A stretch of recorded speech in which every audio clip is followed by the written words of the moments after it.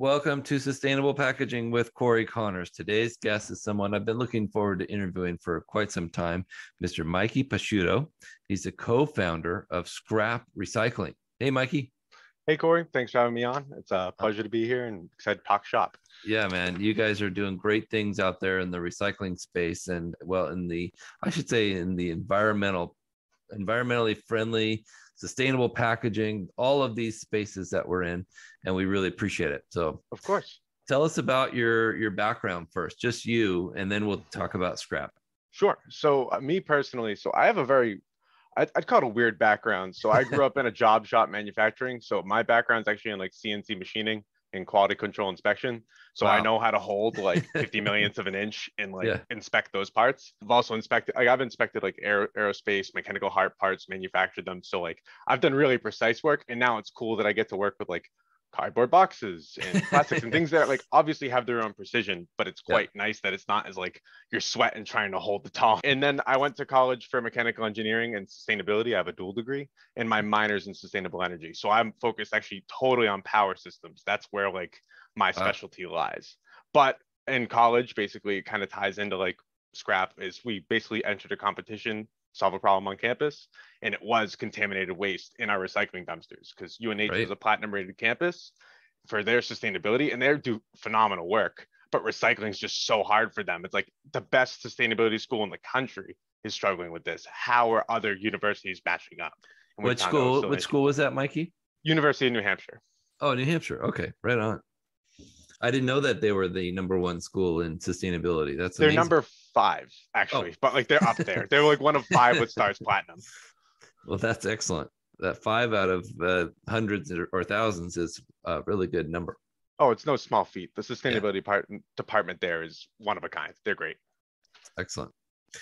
So then you got it, there was a contest on campus, and you guys entered with this idea and mm-hmm. it's and now it's coming to fruition. Can you can you tell us about Scrapp? What what is it? Sure. So basically, what Scrapp is a platform that's dedicated to making recycling simple.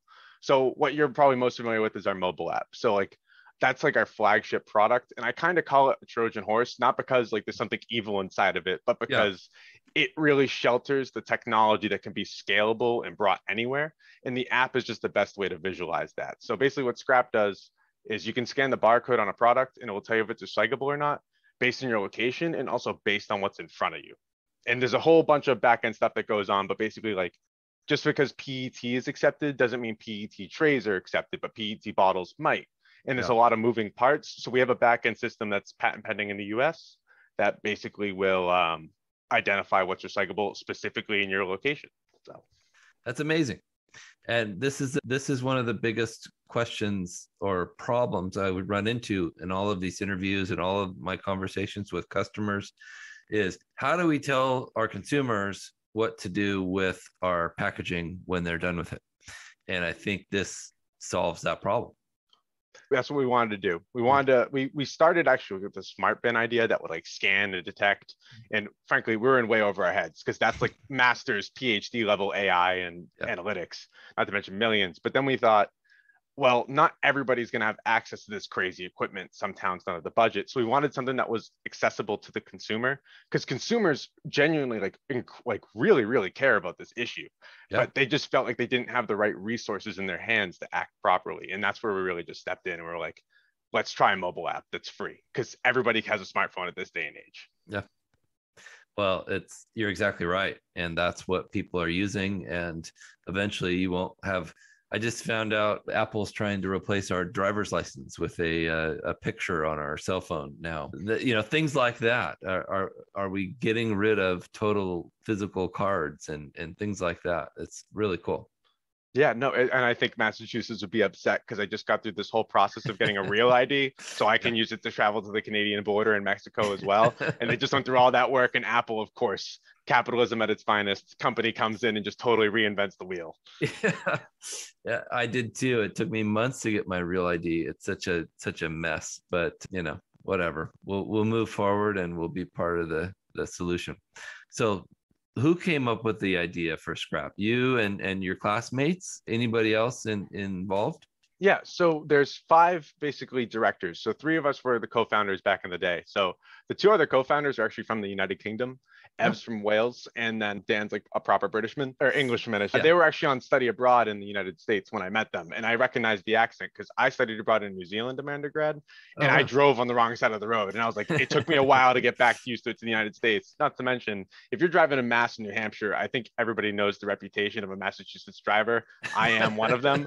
Uh, I wasn't letting these guys go on the road by themselves. I said, look, if you guys want a little bit of American culture, like I have a convertible, so I was like, that's the most American car ever. I was like, I'll take you guys for a ride. We'll go have fun. And so basically, we just bonded, and the three of us to, like really put this idea together. And like we had the idea, like you can have an app, scan the barcode, get recycling guidance.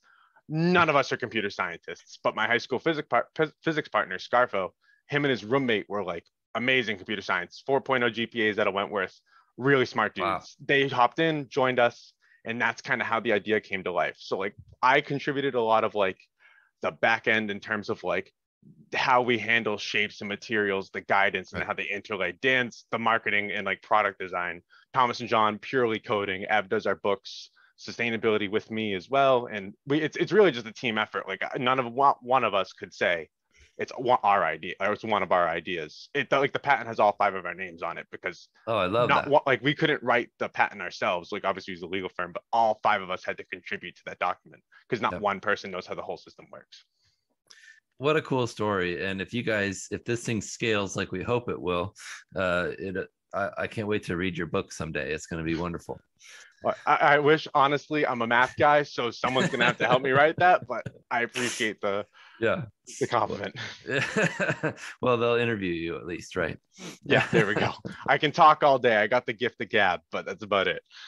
and how how long ago was the impetus for this is this what's where are we at on the timeline of Scrapp I was in my fourth year of college out of five. So, oh, God, uh, it- th- since 2020 happened, it's a blur. September of 2019 was basically we got we were invited to exhibit at the EPA America Recycles Fair, and this was when God, pardon me for forgetting his name, but it was Trump's EPA director. He what uh, that was when he unveiled the 50 by 30 campaign, okay and that's when we were like, we got knocked out of the competition we entered, but we were invited there, and we were like, oh.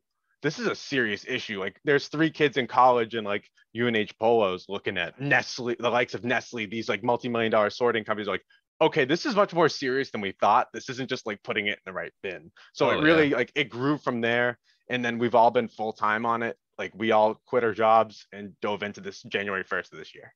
oh man good for you I, I can't wait to promote this with you. And So- thanks for promoting it. Tell, tell us about the app. It's you said it's it's I'm amazed to hear this, but it's free. Yes, it's completely free. So Wow. when you think about it, would anybody actually pay for a recycling app? I would.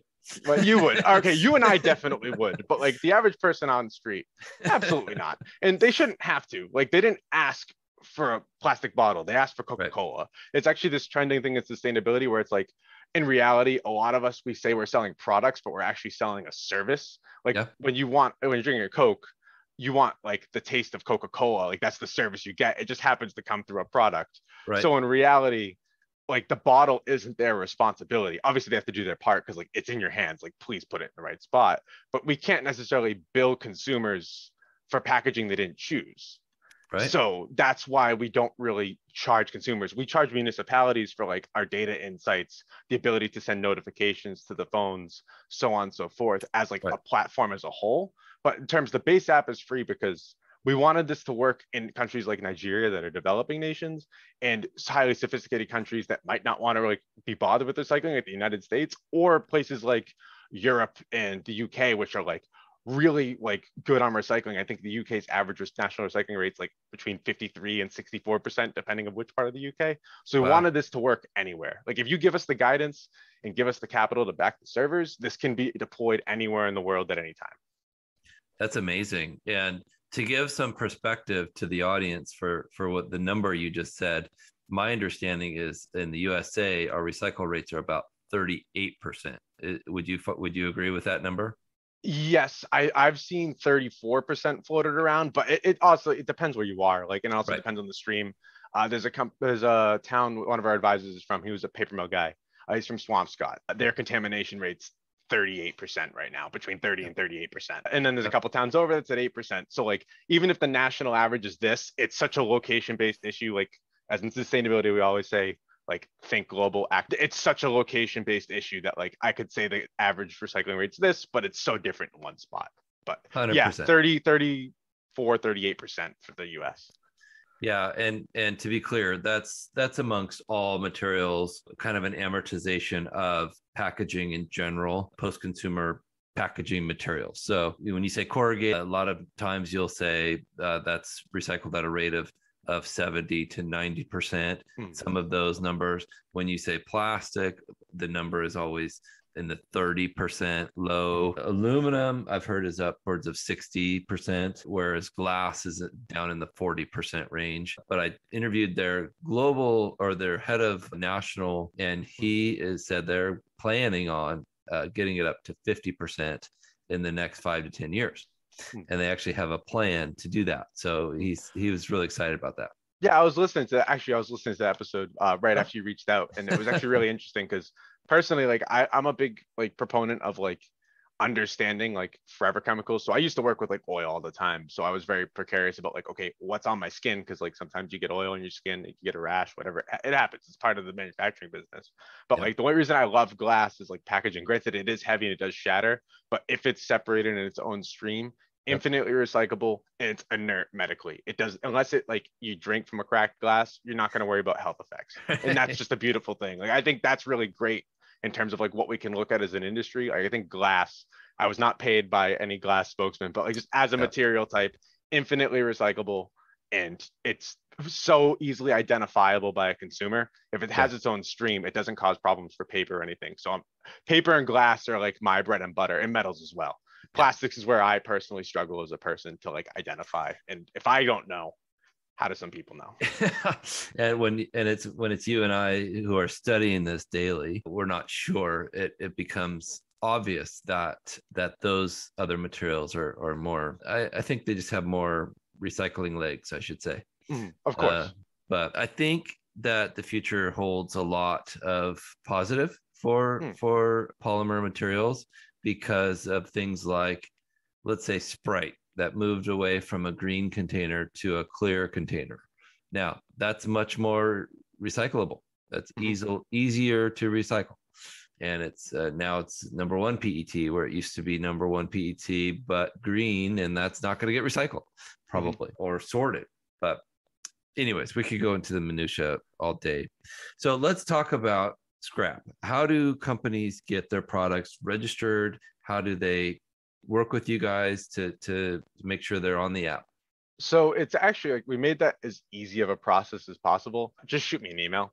I what basically all i have to do is i say great give me your product line. So they give me we need your gtin or upc barcode. Like it can't just be a custom sku you you like edit out because like somebody I, I there that's not regulated so we could get duplicate records of the same SKU but GTINs and UPCs there's no duplicate record. So as long as that's your product product line is based on that just tell us give us an image of the packaging image of what it is brand name product name barcode then all we need is like what the packaging is and what materials it is. Uh, and you don't have to put it like in our system. You can just tell me, hey, this is a bottle and it's got like the mixed material sleeve or wrap type, not a sticky label type. And I can take it from there. We don't want them to like have to learn the nuances of packaging because like what I might call uh, for example, in the UK, they just call like jugs, like a jug of laundry detergent. They call those bottles. Like they're still bottles. I call that a jug. And they're right. very different in terms, like, I mean, they're accepted together now, but they can be different. So basically, aside over, basically, if you just send me that information, I can get you in the app. And we also do a really cool thing for sustainable businesses where if you give us a short description of your sustainable highlights, as well as any symbols you have on your packaging, because we know like symbols are confusing. Like I studied sustainability and there's certain sustainability symbols I look at and I'm like, what is that? What does that mean? Right. Like yeah. B Corp, like I love B Corps. They're great. We're looking to become one not the the average person doesn't know what a benefit corporation is. but if you're a benefit corporation and you submit your products, we attach the symbols to the product so we can say this company is a B Corp, which translates into this, this, this, this. And we also do like PETA Leaping Bunny and like there's over like 60 symbols we can accommodate. So you can actually display and show off your sustainability stuff. So as people shop, they can see, okay, one, their packaging is really recyclable, and two, they're doing really great sustainability initi- initiatives. I feel comfortable buying this product. So it's almost like a point of purchase and point of disposal. As a company, we really engage in that whole spectrum. But once it's disposed wow. of and once it's like on the shelf, then we're we're in our ballpark. But outside of that, not really. That's amazing. Do you think someday that a company could like let's say the consumer scans it could they also offer a discount code to purchase more so that becomes a like an added value for using hmm. Scrapp right yeah so we actually so in our beta we had a rewards program but awesome. through that we found 96% of people so we gave two options donate your points to charity redeem yeah. a discount code 96% of people went to the charity because in reality when it comes to redeeming discount codes for a specific product yeah. you have to interact with the app more. We're a utility based tool. So we see we saw our engagement like hit the floor when our beta. And we're like, what are we doing wrong? Did, did we do this wrong? But in reality, we didn't think of it like, what's the average person doing? If I have to throw something out here, I got a can right here. Yeah. I scan with one hand, I scan the can. I have something I want to get out of my hands and get away from the smelly trash or recycling bin. I don't want to be bothered with a recycling app for too long. Right. So in reality, what we do now is we're actually revamping our rewards program again. Uh, it's a partnership I can announce at like a later time. Just it's still early. Sure. Um, but basically, you're able to choose from multiple causes, and through these causes, every time you scan, positive actions happen. And this can oh, be sponsored it. by brands. So what actually we found is people like the altruistic aspect of recycling because the thing was is that people were recycling they had no faith in the system it's like why do i care anymore it's ending up in oceans it's ending up in third developing nations i should say yeah. and it's ending up where it shouldn't be so why does it matter which bin i put it in but if you can say every time we you scan something something positive happens even yeah. if the waste industry needs time to figure out where certain materials are going something positive is happening from somebody a recycling and b learning how to recycle that's and excellent. that's what we really aim for as like our awards program. But we do actually have the ability to identify like if a specific product was scanned, not by who though, because we don't want people, we don't want anybody to know who's scanning what, because that's like a privacy barrier. Right. So we actually anybody who uses the app, you're completely anonymized. I don't even know who you are. So don't worry, I don't know what you're scanning. Wow, that's amazing. So you're not collecting that data, but that's excellent. Good for you. I know exactly really what was scanned, just not who did it. So we do right. know like a Coke can was recycled in Burlington, Massachusetts. Mm-hmm. I don't know. I don't want to know whose house it was. I don't know who did, but we know. Okay, so you can expect these types of things coming down in your stream and these questions that are coming up. Like if you have a ton of scanned cartons, you need a better like marketing pivoted at cartons. You don't just need to send blind flyers anymore. It's more targeted, focused recycling education. That's amazing. I, I serve on the board for a charity called Candlelighters for Children with Cancer.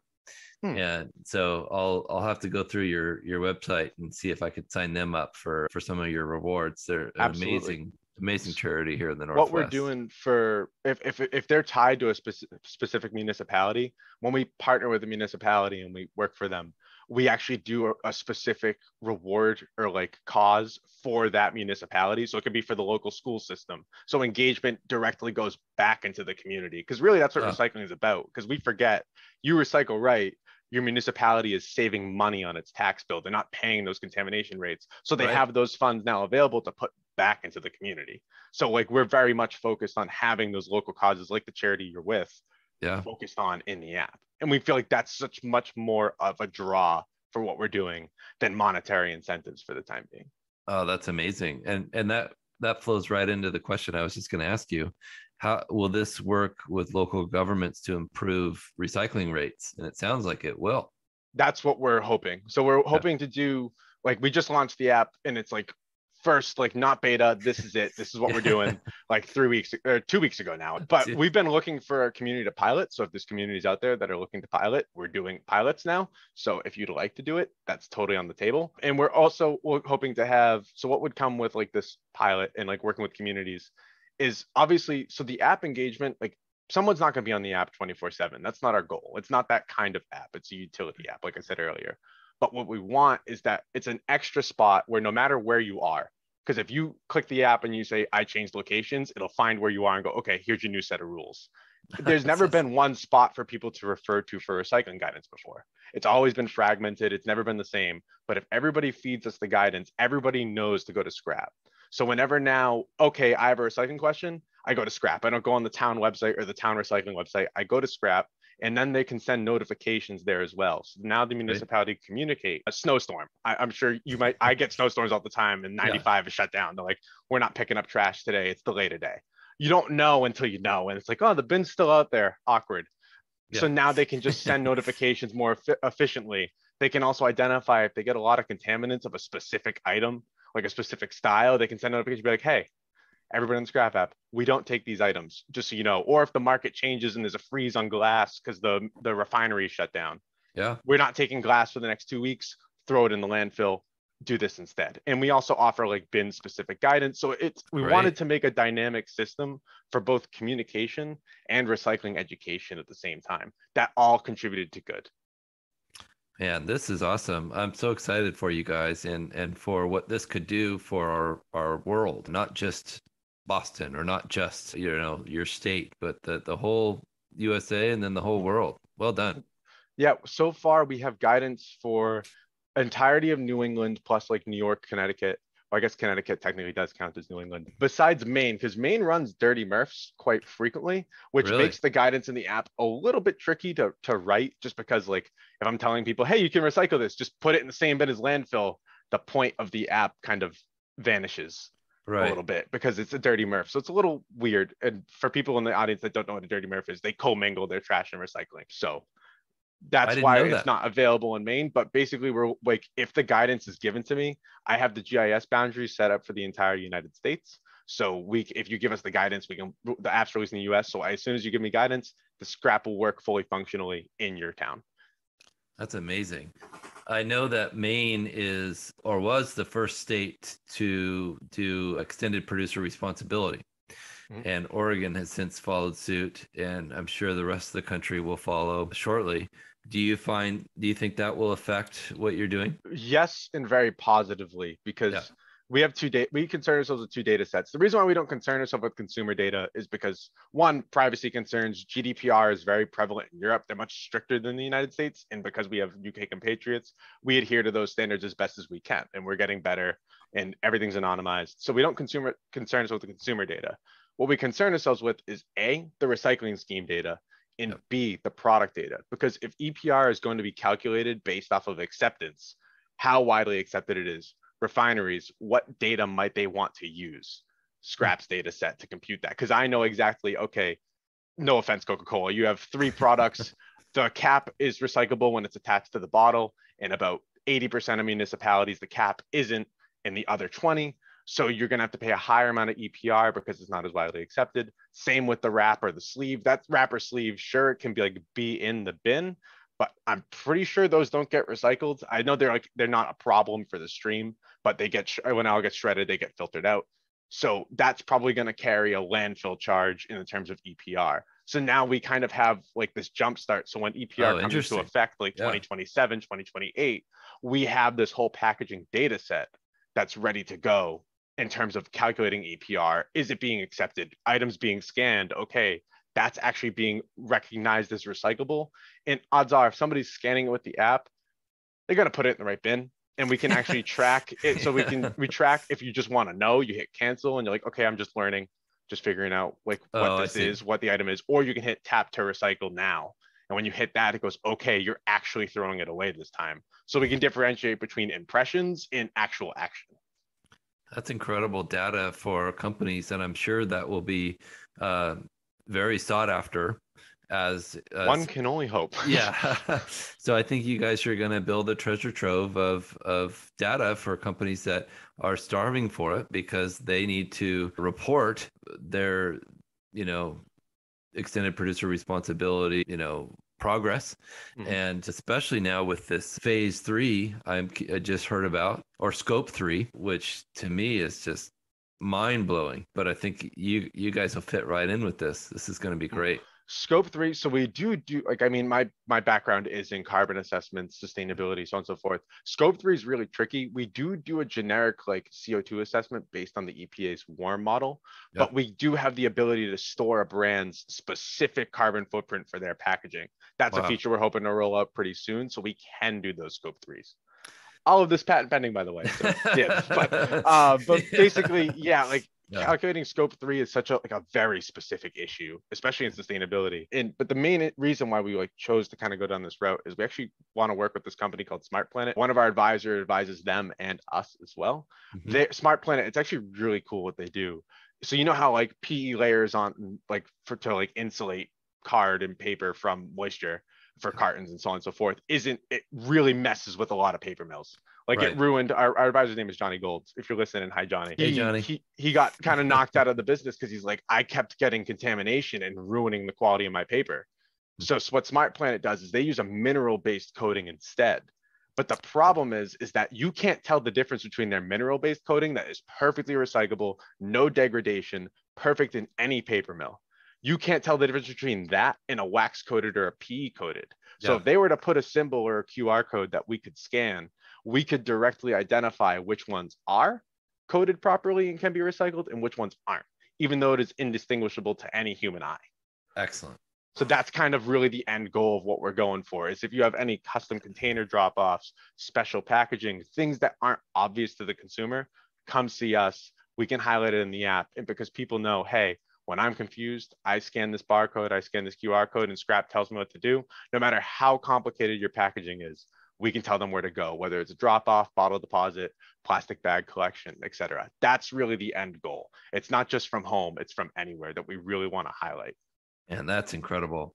I, I'm so excited for that. And really, really kudos to you and your your your whole team it's been a uh, lot of sleepless nights, but I can say, yeah, you must be exhausted. One more question: Does it work for compostable packaging, or do you feel like that kind of throws a, a loop in the whole thing?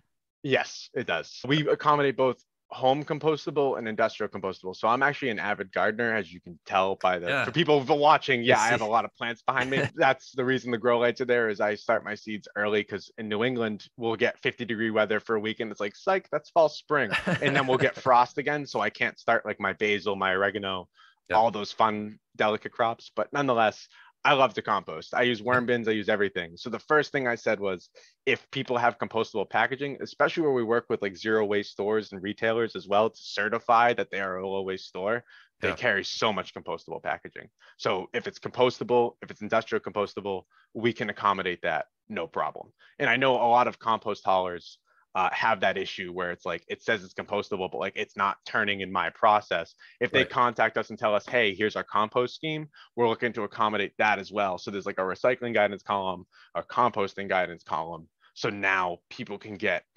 like an all-in-one experience for anything waste. That's amazing. And it's so complicated. No wonder you need science to help you. No wonder you need an app to to figure it out. You know, I get text messages all the time hey man can i recycle this? What is this? You know is this where do i put this material? Or or why did they use this material? You know so it sounds like you guys are are doing that for free. It's really yeah. cool. Because honestly it's just the right thing to do. Like yeah. recycling is a human right. It's not supposed to be complicated. It, whether there was nefarious or not by design like how recycling ended up the way it did whether it was the advent of single stream people deserve to know where it goes in a simple and easy fashion. They should not have to go out of their way and go through countless websites, countless search tools to get a maybe. Like it, it just needs to be that like got it there go. Yep. And the nice thing is is like if you have really special components, like if say you have a wireless router and modem that's like e- e-waste that's like really complicated, we got you covered. Like we, we wanted to make sure that wow. really complicated things. And like because packaging engineering is like a beautiful thing. Like I've, I've spoken to Adam Peek before and i know like what you yeah. guys do with packaging design and all those things. Like they're a feat of engineering just as much as the aerospace components i did. They deserve to be highlighted not as like oh hey cool it's off the shelf. Cool. Like, it's a really hard thing to do to package something right. Absolutely. And it deserves to be highlighted and showed off. So that's yeah. kind of why we, that's the nerdy reason why we do what we do is to marvel at the cool packaging things that are going on Yeah, Adam and I and Avelio Matos host uh, two weekly shows, one audio and one video. And we love talking about this stuff because it's so amazing. There's so many incredible people that are designing, implementing, uh, figuring out packaging for all the products that we interact with all day long. So it's, I agree with you 100%. It's such a cool industry. Hmm. Yeah, and all my buddies love craft beer. It, like breweries, small breweries are a huge thing in New England right now. Yeah. Like I'm sure it is as much in the United States as well. Yeah, yeah. But they're like those cans, the design that goes into those cans, like sure, it's just a can, but like everybody loves the design of the cans. Like they take photos of them. It's like a, it's such a cool thing. And I think packaging has the potential to be something like that. But when you do get really complicated things, people start to get confused, and that's kind of where we step in. Absolutely. And if they get frustrated, it goes in the garbage, and that's it's a waste, literally. literally. No literally. Yeah it's, it's a waste. It's a waste of someone's creativity. It's a waste of great material. And if i have one psa for people besides Please. download the app please Yeah. don't use glitter. Just don't Yeah. use glitter. It ruins everything. Like No i know it's beautiful. I know it, it looks shiny.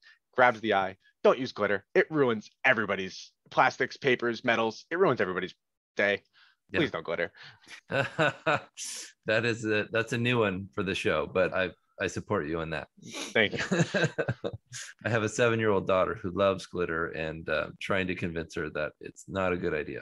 Hmm. Uh, It's like sand at the beach. Like you don't know when you you don't oh, I remember the last time you were at the beach, but it's still there and you don't know why. So people who use glitter, now you know how packaging people feel like. Imagine having sand in your bag after two years in the beach. So That's it. That's it. So, uh, what's next? You guys, like you said, you just launched a couple weeks ago, trialing in these states, and then you you expand slowly, or is it going to be like a shotgun approach? so basically we scale as fast as funding allows. So we actually just so our basic company trajectory is we finished our crowdfunding round end of February. We crowdfunded about 107,000. And Wow. then we're actually I can't say yet, but we got a grant from a certain technology company to that our back end relies on. So we can actually like pursue this with like a good amount of money as well. Excellent. So basically, our back end Congratulations. for for the time being. Thank you. It was, it was Yeah. like uh, Ev and I were on. Like it was like obviously he's in the UK. It was like 2 a.m. his time. It was like 10 a.m. my 10 p.m. my time. And like he got the email and he was like, "Yeah." And I'm like, "What? Is someone hurt?" He's like, "No, we got it." I'm like, "Wait, we got it?" But basically, what we plan to do right now is obviously like I mean, I'm responsible for the UK's recycling guidance in the entire United States for second guidance, and I have Canada's second guidance done. I just have to update it a little bit. So I'm responsible for about if there's 800 or 700 municipalities in the United Kingdom, there are 24,643 in the United States. Uh, I'm responsible for all of them. So if you want to be in the app, the faster I get the guidance, the more I can expand very quickly. So basically, it's just we're fi- we're five to eight people right now. I Wow. can't cover an entire country by myself. So if we get the funding to have a team and like onboard guidance, develop things quicker, we Yeah. could be we could accommodate the entire country like really quickly. It's like it's designed to be a really easy process to have everybody in the app. We didn't want to make this we wanted to make it so a 4-year-old could scan something and an 80-year-old could, could scan something. You can click the app and click the scan button, scan the item in sub 10 seconds with a slow phone. With a fast phone, and if you're good and you, you grew up with cell phones, five seconds. You can open the app, hit the scan button, scan the item, get your results done. It's in the trash. It's speed is really what we're prioritized with the app experience. So we really want to be in as many places as we can that we can Oh, man. actually handle and service well. Well, good for you. And this is really exciting. And I hope this is the first of several appearances on this podcast because I want to hear what happens in six months and what happens in a year. So, will you come back and be on the show again? Absolutely. I have right. someone to talk about packaging with. My parents, so they, as you can imagine, I'm quite Yeah. chatty. Uh, I'm I'm the Scrapp sales guy. I talk all the time. My dad will. My dad's a factory guy. Like my dad's very stoic. Doesn't always chat. I got the chatty gene from my mom. I'll come out and like be like, I just had this really great call. Like at seven this morning, I got off the phone with a really great call with someone really, the Switzerland person, really influential. Really, and I was super excited. And I was telling my mom about it. My dad's just holding the TV remote, pointing at me, and he goes, "Pause button ain't working on this one." trying to get me to shut up. So, It's and put this way, if you'll have me, I, I can talk all day about packaging.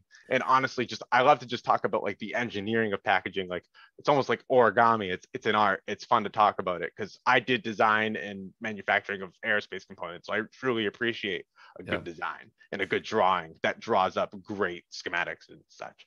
It really is an art form, and I, I appreciate that you know that. Well, I'd like to thank Landsberg Orora for sponsoring this podcast. Your continued support is very much appreciated. And if you're listening, please take a minute to subscribe and give us a rating. We we appreciate that very much. Thank you so much, Mikey. Looking forward to having you back on. Of course. Thanks, Cory. Have a good one. You too.